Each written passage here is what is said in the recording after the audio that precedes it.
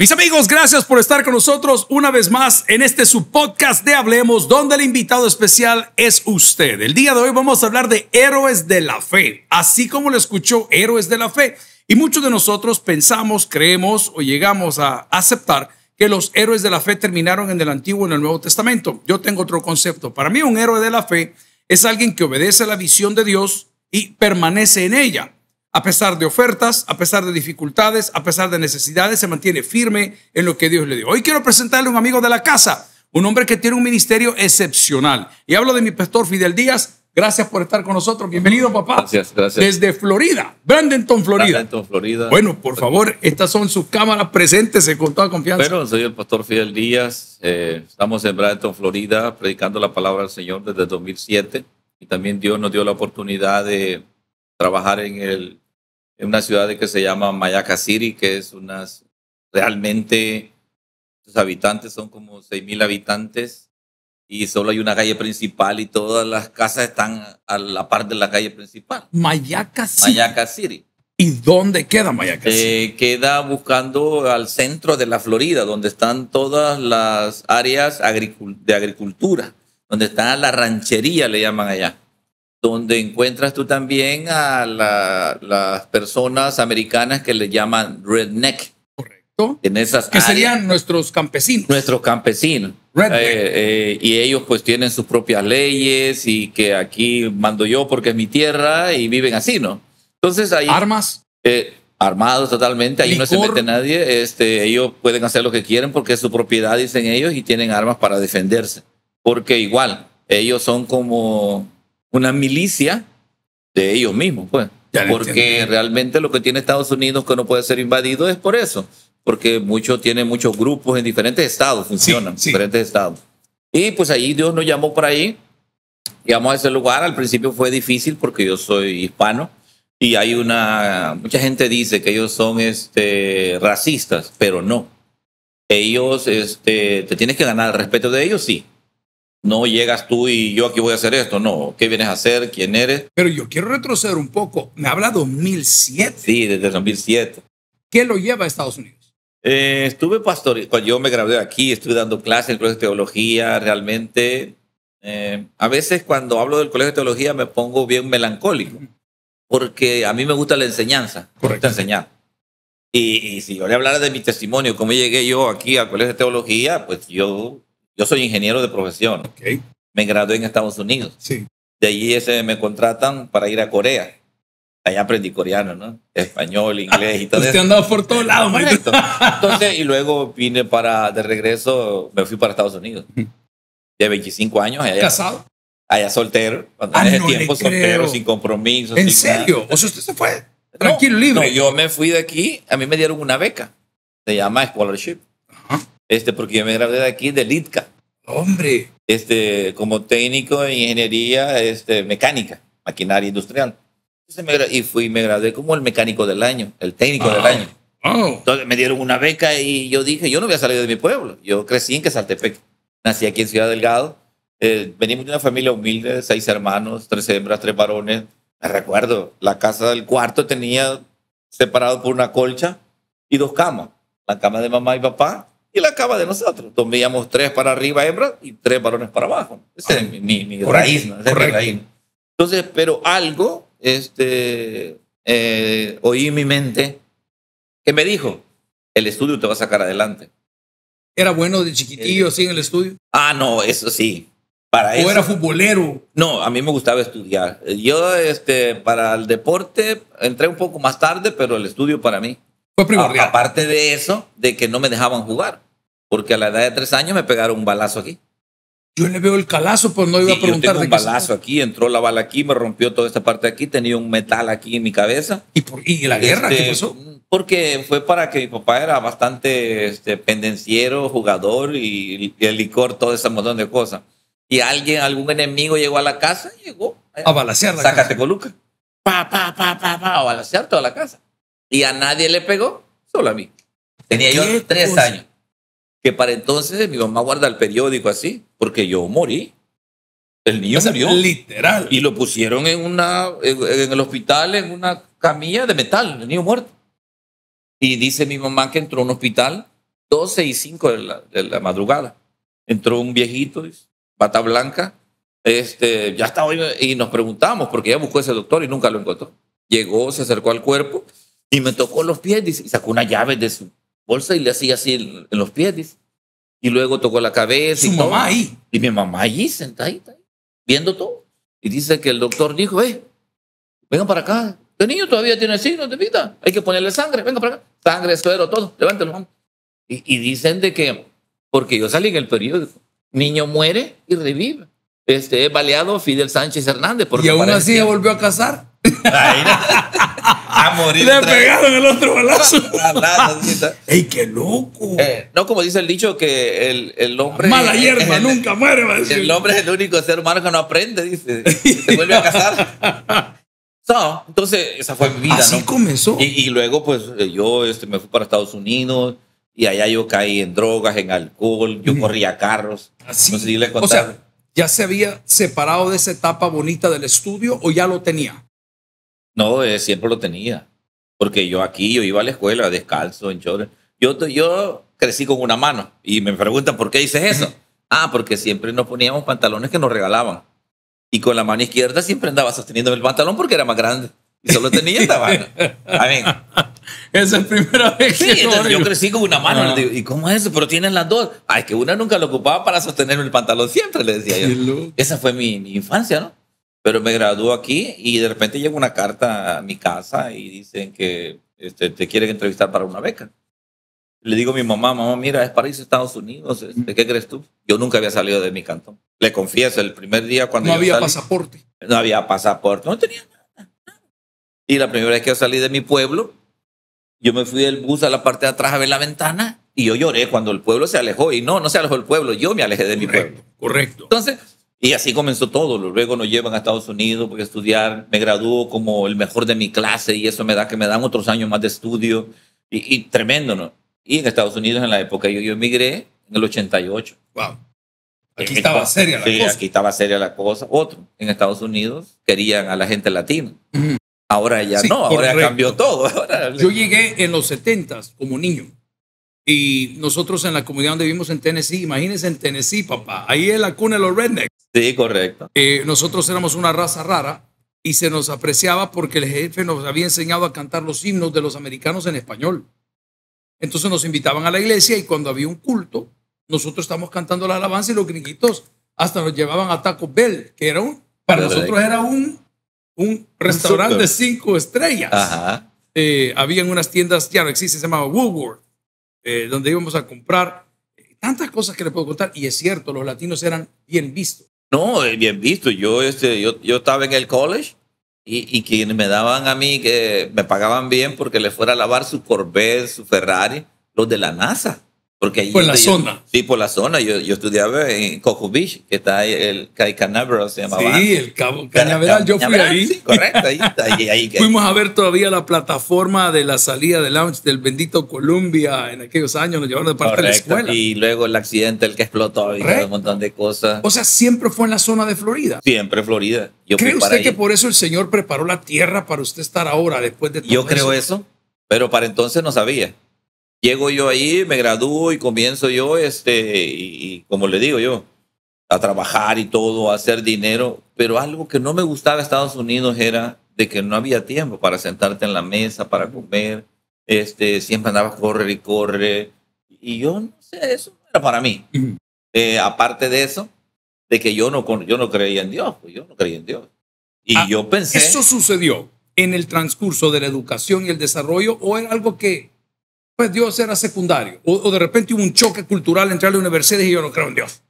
No, yo nunca creí en Dios porque vi sufrir mucho a mi familia. Y pensaba de niño, y si Dios existe, ¿por qué sufrimos tanto? Si Dios existe, ¿por qué no tenemos comida? Nunca pensaba yo de que mi papá era un alcohólico y no, no brindaba lo, lo necesario para nosotros como familia. pues. Cambió su idea.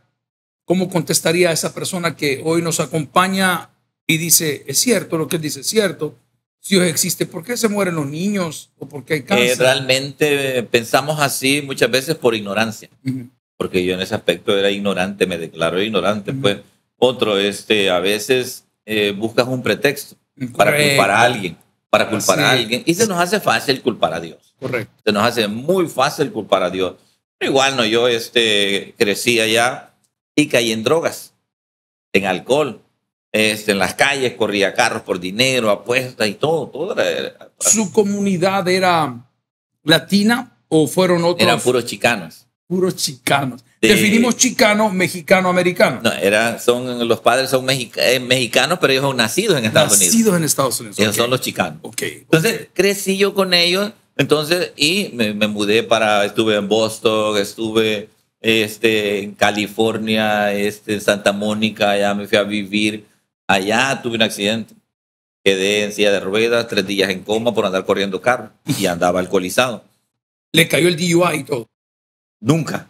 No puede ser. Nunca. Nada. Sí, porque si le hacen la prueba y usted estaba inconsciente. no, nada. El accidente me llevaron, quedé en coma tres días, desperté, cuatro costillas rotas, me enyesaron de aquí hasta abajo, quedé en silla de ruedas.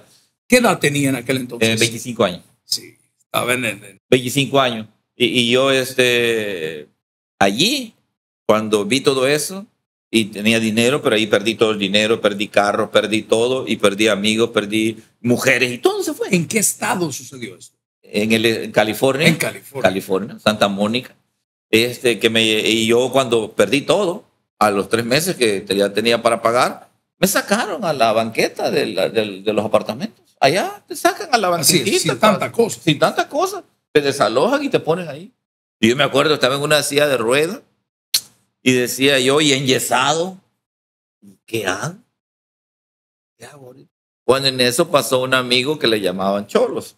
Los cho Todavía existen los cholos, ¿no? Pasó con su carro, ¿no? Claro. Picando el carro. y tumbado. Sí, tumbado. Y Nike, ¿no? Nike, sí, Cortés. MacArthur, MacArthur, camiseta, camiseta blanca. ¿Cómo se llama esta? Ben, ben, Davis, creo que se llama la marca bendita de ellos. Entonces, y viene y me dice, hey, what happened, carnal? Me dice. Y ya le expliqué todo le dije, problem, you are my brother, let's go to my car. Me puse en su carro, recogió todo y me llevó a vivir a su casa. You're gonna stay with me, man. You're gonna have food, you're gonna have everything. You're my brother, man.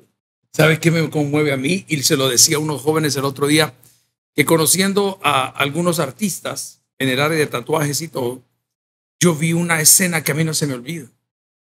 Y ayudando en una plática, consejería a uno de estos chicos, habían cuatro o cinco cipotes passed out, tomados, fumados, pero en medio de ellos habían dos muchachitas. Y una de las cosas que yo admiré de ellos es que entre ellos se respetan. Sí. No, o sea, hay código. Hay un código sí, que es inviolable. Sí, pero eso a mí me llamó poderosamente la atención porque los cristianos pasamos encima de quien sea con tal de hacer lo que queremos. Eh, conseguir lo que queremos. Ellos Pero no ellos no. Yo de verdad, mire, hasta ahorita eso me dice. Ellos mueren por ti. Sí, ¿cómo ¿cómo Un cristiano sale corriendo. No, me quedaste, güey. ¿qué te- Así que el hombre se lo lleva a su casa. Me lleva a su casa, me daba comida y todo, pero él trabajaba. Porque es cierto, ellos no son vagos. Correcto, sí. Son trabajadores, tienen su, Sí, su trabajo. correcto. Y Como el trabajo. latino promedio. Cor- Correcto, y tiene su trabajo, Ey, buen carro, no, se sin, ser, sin ser racista, si no diferenciamos de los morenos americanos, yo siento que el latino pone su parte, su granito. De, Sí, pone- él chupa y es bolo, pero, por ejemplo, usted estaba en Boston y, y veo en la calle, mira, me dice un pastor que estaba y por eso no nos quieren aquí, me dijo, porque iban dos colegas bien sonados, uno era Chapín y otro porque los conocía. Mira, es fulano y tal, me dijo, por eso no nos quieren aquí. Uno es salvadoreño y Chapín, imagínense. Así, eh, Pero, eso sí, son ruferos y se han tirado las cuarenta y tantas horas de la semana y el fin de semana es el 24 para, ¿verdad? correcto, pareciera como que es parte de algo cultural, ¿no? Bien dicho. Ajá. Es, aparte de eso, es eh, el sistema judicial Ujú. en cualquier estado. Quienes lo mantienen somos los latinos. Mm, Correcto, correcto. Y alguien me dice, ¿cómo que los mantiene? Ah, no. A, un latino lo meten preso y paga la multa, 1.500 dólares, efectivo. Sale. Sale por fuera y a trabajar porque sabe que en una semana va, a ganar 1.500 dólares. Pues, Correcto. roofing, ¿no? Correcto. Entonces, los blancos, los americanos, no, ah, no, preso, están en una semana y no te puedo ni cinco, yo no te pago. Sí, correcto. Ellos dicen, ah, pagamos el precio. sí. O sea, Yo te pago cargamos con el problema. Sí, correcto. Los latinos pagamos. Multa, aquí está. Antes de 30 días tienes, no, al siguiente día pagar el ticket. Ya.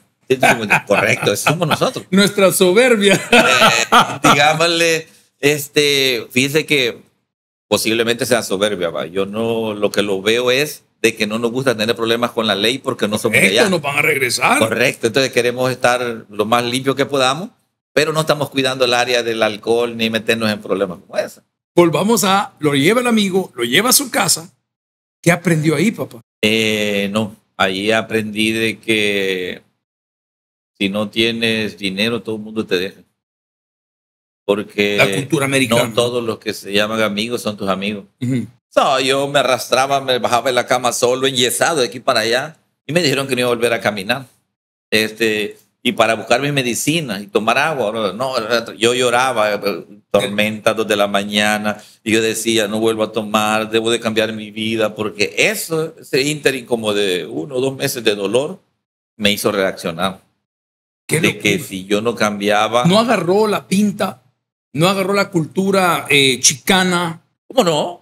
Sí, con Nike, su MacArthur, la camisa botonada aquí arriba. Y Bien con ella, sí. Lo único que cuando matan a un muchacho enfrente de mí, una escopeta y le vi los ojos que le salieron a la frente. ahí le cambió la mente. Y dije yo, no, no, no, no, no, no, si no, eso me va a tocar a mí. entonces me hice tres pasos para atrás. Este, ya no, pues porque antes igual te marcaban, te saltaban y todo un montón de cosas. Eso nunca pasó conmigo, no sé por qué. Y yo pienso que no es que pasó porque no quise, sino pasó porque Dios tenía algo para mí. Amén. Y eso es lo que yo creo desde el principio, ¿no? me pegaron el balazo, no morí porque Dios tenía algo para mí. Correcto. ¿Me entiendes? Entonces ya eh, con él este, y yo me doy cuenta, a los tres meses yo no aguanto. Le digo, ve a Hondipo, cómprame una sierra y me la traes y me compro un par de ventas. Listo, carnal, yo te las compro. ¿Y qué quieres hacer? No, ayúdame. Me, quité el yeso yo solo con la sierra.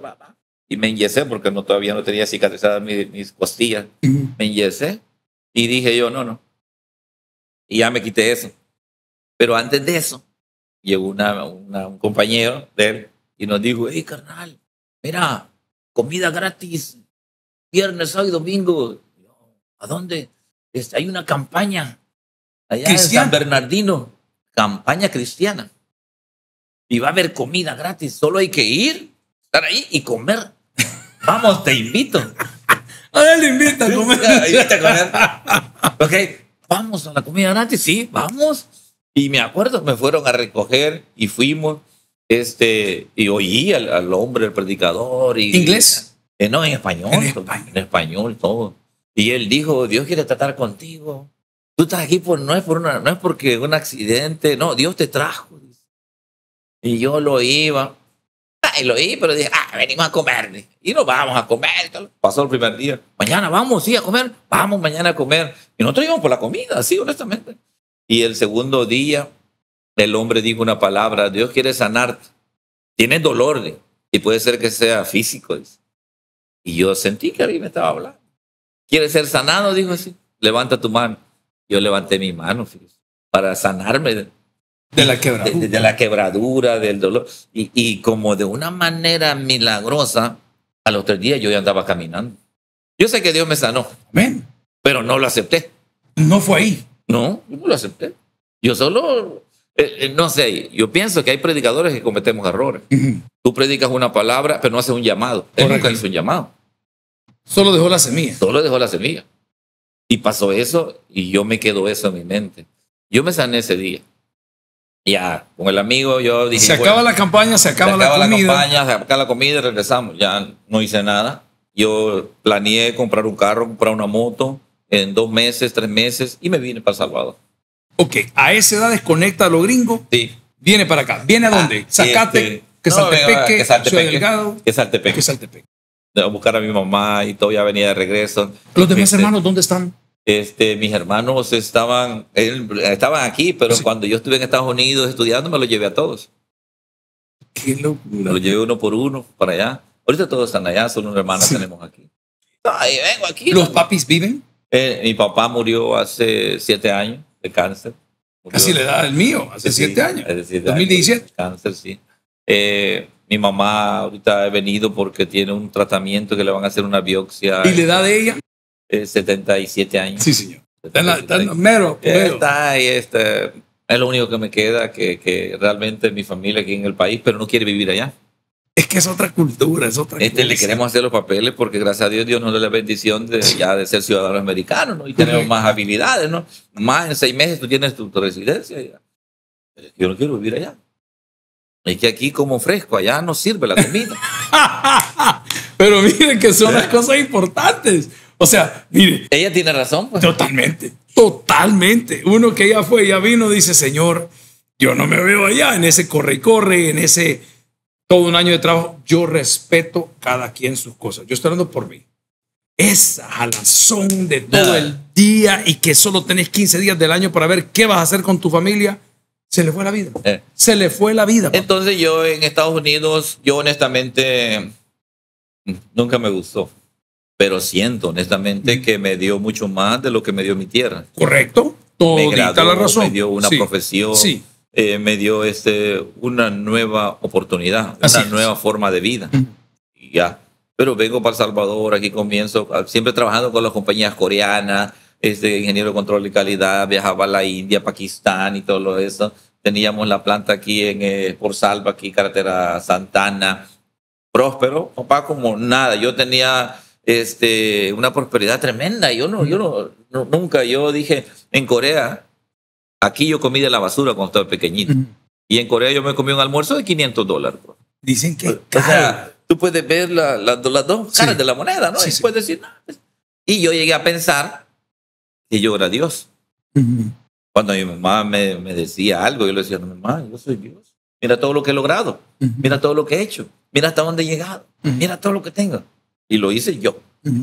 Nadie me ayudó, yo lo hice. y siguió, ¿no? Entonces, cuando yo estaba aquí trabajando para la compañía este, coreana, eh, daba en el mundo.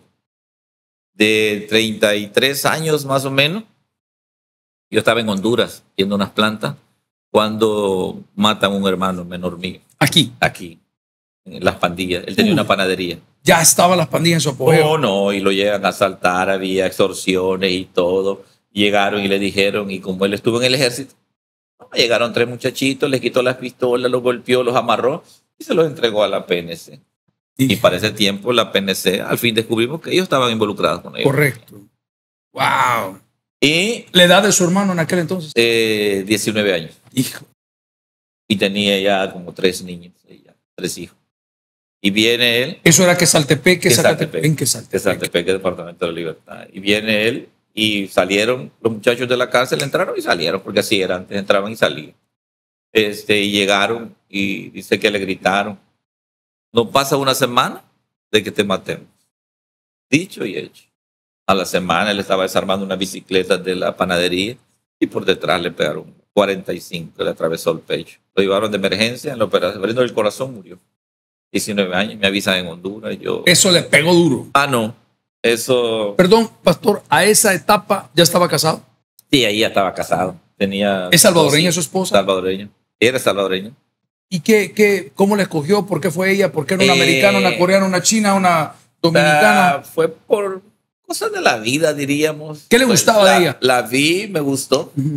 Este.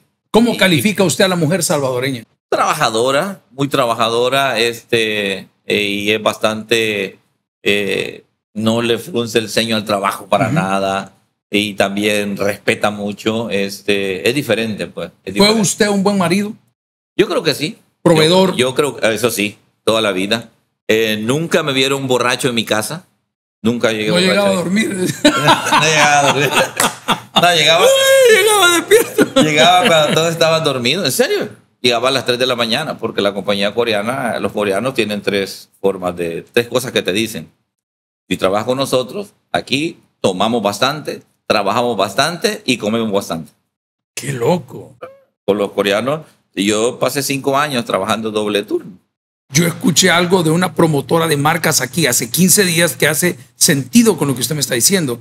Ella ve una marca de Huawei y Huawei Guatemala estaba en El Salvador, entonces no vino al culto. Pastor, qué pena, me dijo, te pedí que reservaras y no lo hiciste. No pude llegar. Entonces, ¿por, ¿por qué? Porque ando con unos coreanos y me dice, mire, aparte de que ellos son menores a 35, 37 años, esta persona anda pateando los 50, comemos literal, se lo estoy repitiendo, comemos de todo el día y solo me dijo el trabajo, no tanto de beber. pero sí del trabajo, que es una cosa, es una disciplina, un estilo de vida. Sí, sí, es una, algo que aprendí con Son los buenos coreanos. jefes. Buenísimo. Ellos tienen honor, tienen, tienen este, disciplina tremenda. Y lo que te prometen, aunque no esté en papel, te dan tu palabra y lo cumplen. No como los salvadoreños, Sí. que aunque los contratos. Ahí te va el aguinaldo. Igual aquel que le dice, mire jefe, aumenteme el sueldo, le dice, no te lo voy a aumentar. Si no me lo aumenta, le voy a decir a todos los empleados que me aumentó el sueldo. Lo topó. Le- Así que se viene, muere su hermano y aquí viene y el aquí, cambio. aquí viene el cambio en mi vida porque volvía, yo estaba saliendo ya todo eso, pero volví a caer en alcohol, en droga, y nació algo en mí que yo no conocía, que se llama venganza. Yo quería venganza. Este, De los muchachos. de los que me lo mataron. O en sí de los policías también. Nah, de los que me lo mataron. Este, y en eso yo voy a la policía, me dijeron que lo soltaron a los dos porque no habían pruebas. No habían pruebas. Está bien, pero a fin descubrimos de que ellos estaban aliados con ellos. Pero bueno, eh, en ese ínterin yo llego y yo quería venganza y comienzo a averiguar, comienzo a pagar aquí y allá para que me averigüe una investigación y ya descubrimos quiénes eran, este, que eran pandilleros. Entonces voy al jefe de la pandilla donde yo vivo, la 18, vengo yo y le digo, mira, queremos, necesitamos hablar. Eh, ¿qué pasó, chino? Me dijo, mira, de estos dos mataron a mi hermano. Quiero que me los entreguen, los voy a matar yo. Y me dijo él, mira, si los tocas, te vas a morir. Vamos a matar a tu mamá, tu ta, ta, ta, ta. Y yo le dije, mira, tú y yo crecimos juntos. Y yo, tú y yo te, con- te conozco y tú me conoces. Yo también voy a ir a sacar a tu mamá, a tu tía, y los conozco dónde viven, cómo están. Y ahí comenzó. Y pusieron, me mandaron un honor. Yo no podía entrar al pueblo que es Saltepeque. El día que entre te matamos. Y le avisaron a mi mamá. Mi mamá me dijo, no, no vengas. Y eh, ese internet pasaron dos años. Mi mamá, eh, cristiana, ella me decía, Dios te puede ayudar. Dios no existe, mamá. ¿Dónde estaba Dios cuando mi papá era borracho y te golpeaba y nos metía debajo de la mesa? ¿Dónde estaba Dios cuando no teníamos que comer? ¿Dónde estaba Dios? Dímelo. Mi mamá callaba y decía, Dios te puede ayudar. Dios te puede ayudar. Eh, y en todo eso, yo caí en un síndrome de persecución. Yo me decía una voz que el día que dejara el arma y ese día yo iba a morir. Yo usaba arma. Usted me miraba de saco trabajando, pero yo andaba aquí, la 9 milímetros aquí. guindado, ¿no? Yo había creído eso. Y, y yo no creía en Dios.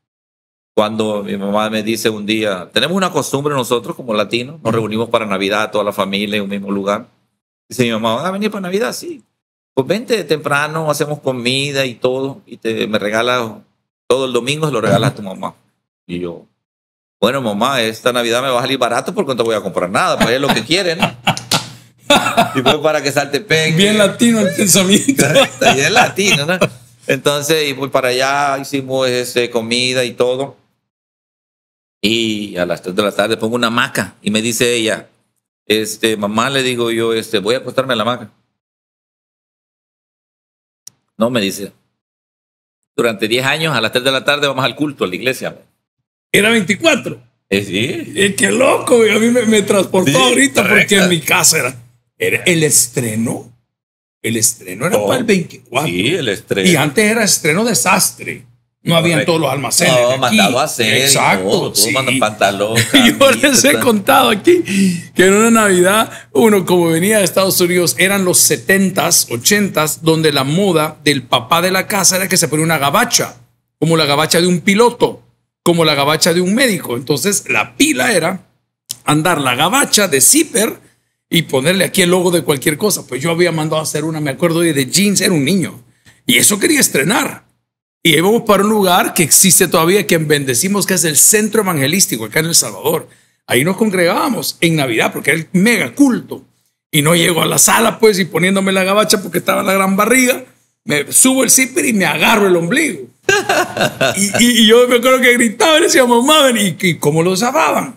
¡Guau! Para abajo. Me, me re- me transportó a las 3 de la tarde al culto, el 24. 24 de diciembre, dijo mi mamá, este, mamá, pero yo no, yo no mira cómo ando, yo para ese tiempo usaba los jeans rotos, así, Sí, sí. usaba pelo largo, usaba arito, andaba arma, andaba con una, un jacket de, de, de lona, me acuerdo Sí, sí. yo, y le digo yo, "Uy, voy a ir hacia la iglesia.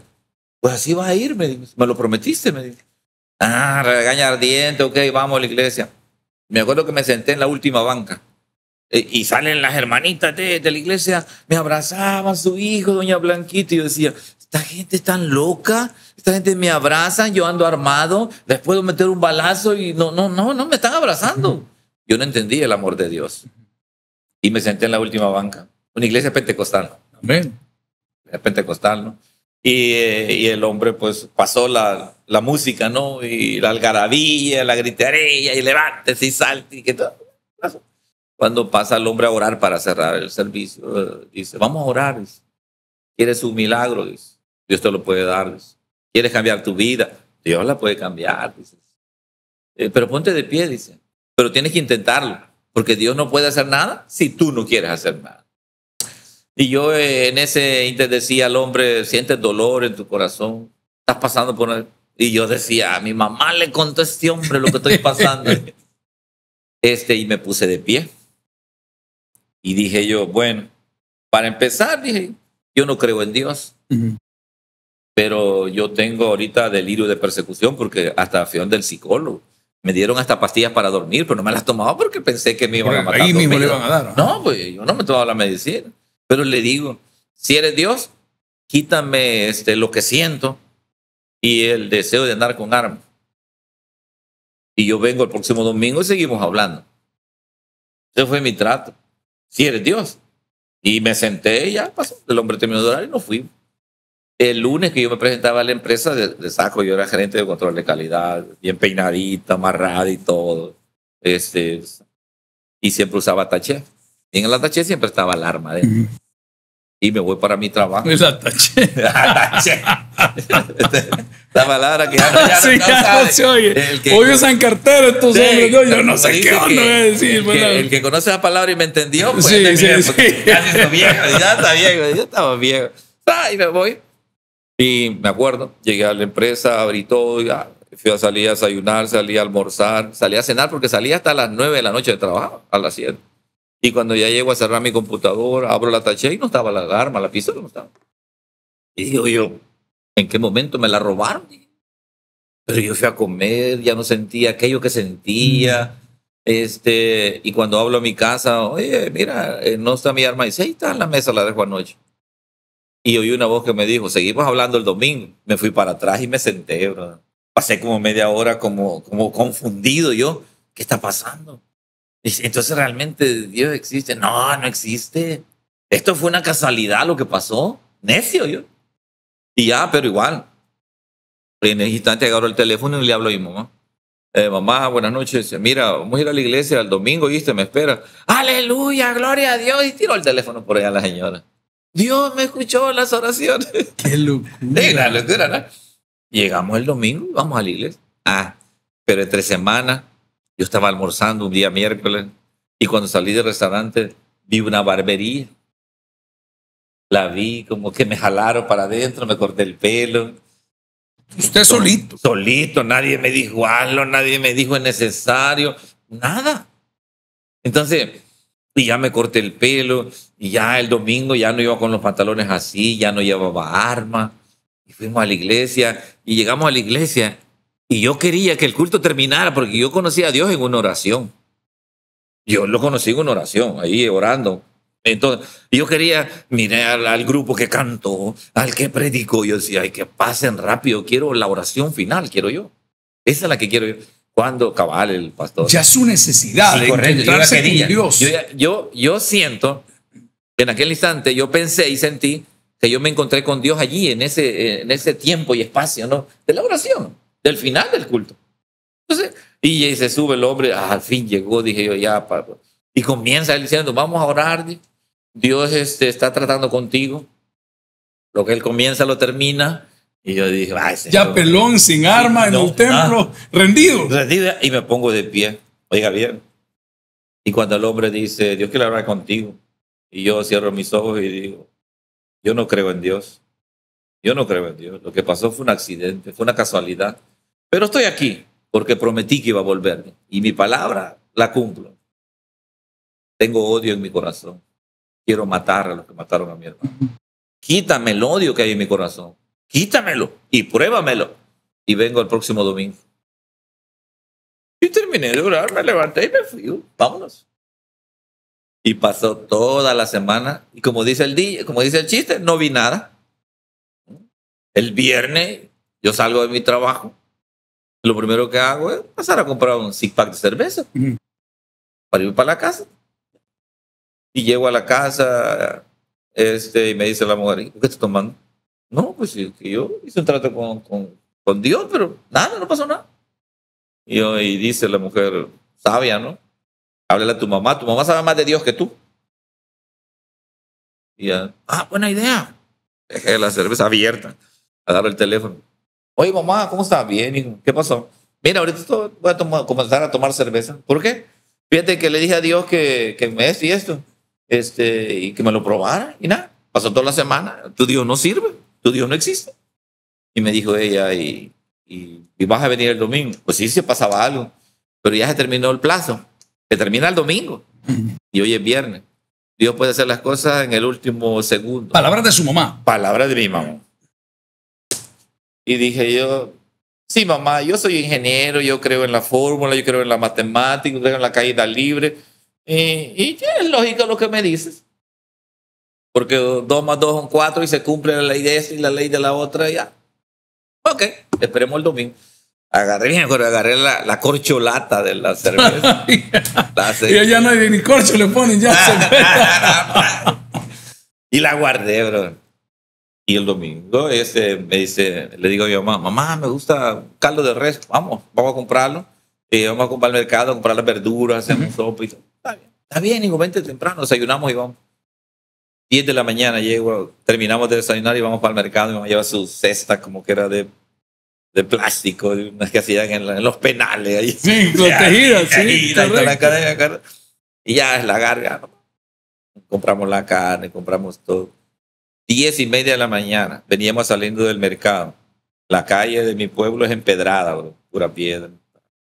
Salimos del, del mercado cuando veo las dos personas que mataron a mi hermano. Uf. En la calle. Los busqué tres años, nunca los encontré. Y ese día en la calle. Y cuando me vieron, sabían, se abren las camisas, una pistola a cada lado. Mi mamá me pone la mano aquí y me dijo, hijo, tengo miedo. Y yo le dije, no, mamá, tranquilo, tú sabías. Yo no andaba armado. No sé si lo que le voy a decir hoy existe o no existe, pero a mí me pasó. Yo hablo de lo que me pasó a mí. No puedo hablar de lo que le pasa a otras personas. Cuando íbamos caminando en la misma calle, ellos venían caminando los dos, pa, pa, y nosotros dos caminando así. Cuando nos encontramos en la calle, así, en sentido contrario, en ese instante mi corazón brincó. Brincó, pero no, no, no puedo explicar, porque ¿cómo va a brincar? Yo sentí que brincó y dio vuelta dentro de mí y cayó de nuevamente. Y oí esa voz que yo ni sabía. Perdónalo porque no saben lo que hace. Y yo a una gran paz en mi corazón sentí. Ese día volví a la iglesia, ese día acepté a Cristo. Gloria a Dios. Un cambio radical ahí no alcohol, no esto, nada. Todo. Eh, eh, yo creo que una evidencia de que ha nacido de nuevo es todo eso. Correcto. Yo siempre estoy diciendo en la iglesia no hay medias conversiones. Y aflijámonos aquellos que creemos que hemos sido conversos o, nos hemos convertido y, y, no cambió nada. O la mitad la cambió. Es que no hay medias conversiones. Es vertical. Sí, eh, tienen que verse este, los cambios en tu vida, ¿no? que tal vez es como el cáncer, el cáncer a todos no nos dura tres años, ni cinco años, otros años. Sabemos que la regeneración tiene un, un, tiempo de, de, regeneración, pero en mi caso fue tajante, papá, cambiemos y cambie, porque ya no. Entonces vengo yo y ya yo como cristiano iba a la iglesia y este, el Señor me daba ideas, hice un grupo de evangelismo en esa iglesia. Hay muchas iglesias pentecostales en ese tiempo, estamos hablando de 1995 me acaba 30 años. Eh, eh, ellas no, no, creían en el evangelismo. Correcto. No, aquí no evangelizamos. Correcto. Y, a mí sí me gustaba porque yo, yo, yo, yo soy ingeniero y yo creo en, la, en, la, en, la, en, toda la, la, la, materia académica. Pero entonces, ¿cómo voy a creer en esto y no voy a creer en lo que Dios dice? Pues, Correcto. entonces no, no tiene lógica, pues. Casi siempre se respaldan en que Dios llama a los que quiere llamar y no, y no, pero ese evangelismo ha sido la columna vertebral de nuestra iglesia, que usted forma parte de la misma y recuerdo como se lo diga a los compañeros del estudio cuando le decían los supervisores, no, él no tiene iglesia. Yo me recuerdo esa etapa. Y usted venía a las convenciones de pastores y decía, no, él no tiene iglesia, es que eso no es iglesia. Un día tuve que detener a alguno de los dos, que por cierto ya no está ninguno de los dos con nosotros, y le digo, ustedes no tienen idea de lo que es un ministerio como lo que usted hace. ¿Podría compartir con mis hermanos en estos minutos qué hace ahora? ¿Cómo es eso de predicar en las granjas y llegar en, en vans a recoger y, y, y, cuidar y pastorear a chapines, mexicanos, salvadoreños, qué sé, otras nacionalidades. ¿Qué hace ahorita en Bradenton, Florida? En Bradenton, Florida, eso nace como, como un llamado, pues. Este, yo nunca había oído la palabra de capellanía, ¿no? la conocía, ¿no? Pero en Estados Unidos hubo un periodo que se comenzaron a cerrar los espacios para los pastores porque solo se relacionaban con religiosidad, eran más religiosos que otra cosa.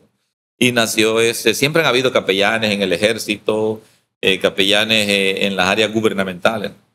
Entonces nació la palabra, este, me dijeron a mí este, de la policía, dijeron que había una oportunidad para ser capellán.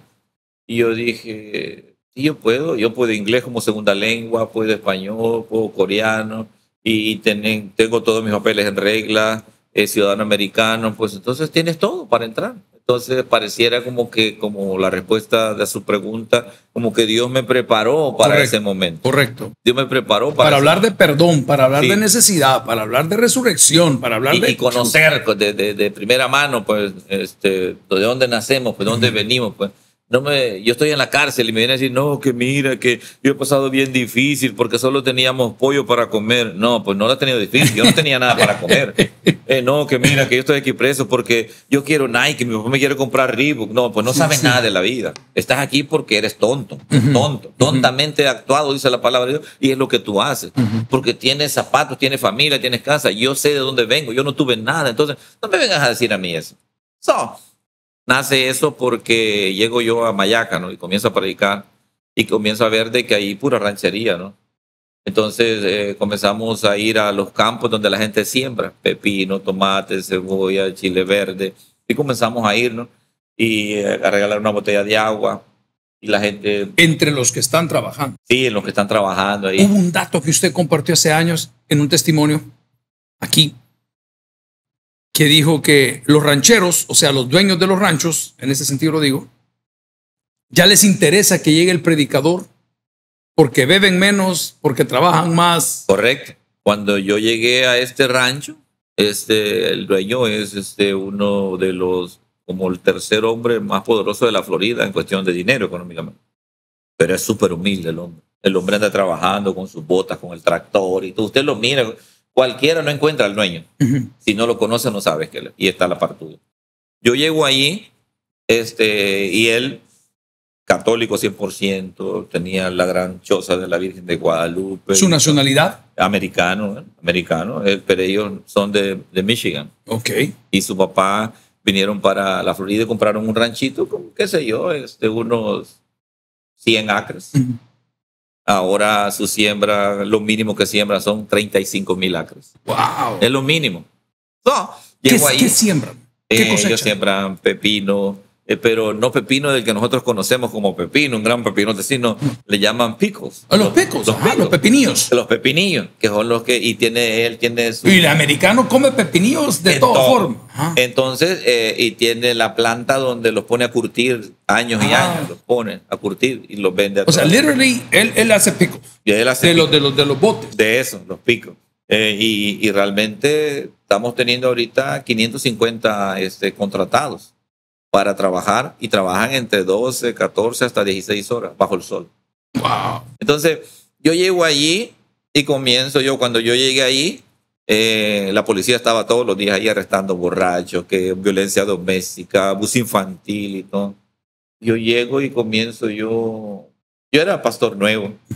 Estuve aquí en San Pedro Puse, en Trataco y Apaneca, seis años. Me había graduado del Colegio de Teología el 2005 pero realmente consideraba que no tenía tanta experiencia como después de 15 años, ahora veo las cosas diferentes.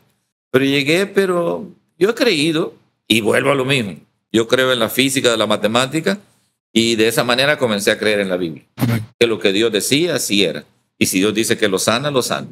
Este, y si Dios dice que lo va a quitar, lo va a quitar.